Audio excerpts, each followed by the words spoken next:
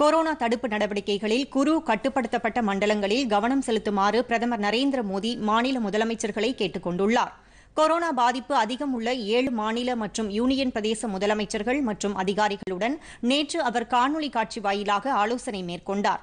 அப்போது பேசிய அவர் கொரோனா தடுப்பு நடவடிக்கைகளில் ஈடுபடும் அதே வேளையில் பொருளாதார நடவடிக்கைகளை அனுமதிக்குமாறும் வலியுறுத்தினார். சில மாநிலங்களில் ஒன்று அல்லது இரண்டு நாட்களுக்கு உள்ளூர் ஊரடங்கு அமலாக்கப்பட்டதன் மூலம் நோய் தொற்று கட்டுப்படுத்துதலுக்கு பயனுள்ளதாக இருந்ததா என கேள்வி எழுப்பினார். பொருளாதார நடவடிக்கைகளை மீண்டும் அனுமதிப்பதில் உள்ள சிரமம் குறித்தும் அவர் கேட்டறிந்தார்.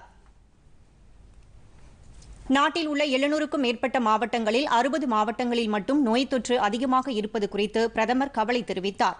அந்த பகுதியில் உள்ள அதிகாரிகளுடன் ஒருவார காலத்திற்கு நேரடியாக தொடர்பு கொண்டு நோய் தடுப்பு நடவடிக்கைகள் குறித்து ஆய்வு செய்யுமாறு முதலமைச்சர்கள் மற்றும் அதிகாரிகளை அவர் கேட்டுக் கொண்டார். நாடு தழுவிய ஊரடங்கு மூலம் நோய் தொற்று கட்டுப்படுத்தப்பட்டதாக கூறிய பிரதமர் இந்நடவடிக்கைகளுக்கு சர்வதேச நாடுகள் பாராட்டு தெரிவித்ததாக குறிப்பிட்டார். முறையான பரிசோதனை கண்காணிப்பு சிகிச்சை ஆகியவற்றில் தொடர்ந்து கவனம் செலுத்துமாறும் பிரதமர் வலியுறுத்தினார்.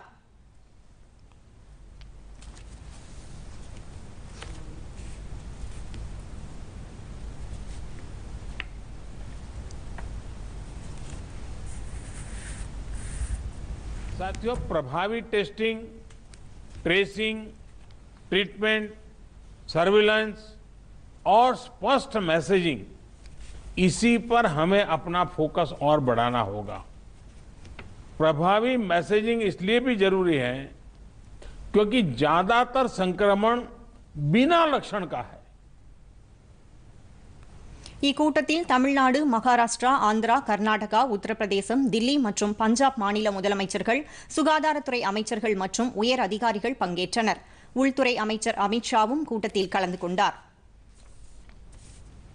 பொதிகை செய்திகளை யூ டியூபில் தமிழ் நியூஸ் தூர்தர்ஷன் என்ற சேனலிலும் முகநூலில் டிடி பொதிகை நியூஸ் என்ற பக்கத்திலும் ட்விட்டரில் டிடி நியூஸ் சென்னை என்ற பக்கத்திலும் இன்ஸ்டாகிராமில் டிடி பொதிகை நியூஸ் என்ற பக்கத்திலும் காணலாம். மேலும் உங்கள் கருத்துக்களை Podhigai DD news at Gmail dot com என்ற மின் அஞ்சலில் தெரிவிக்கலாம்.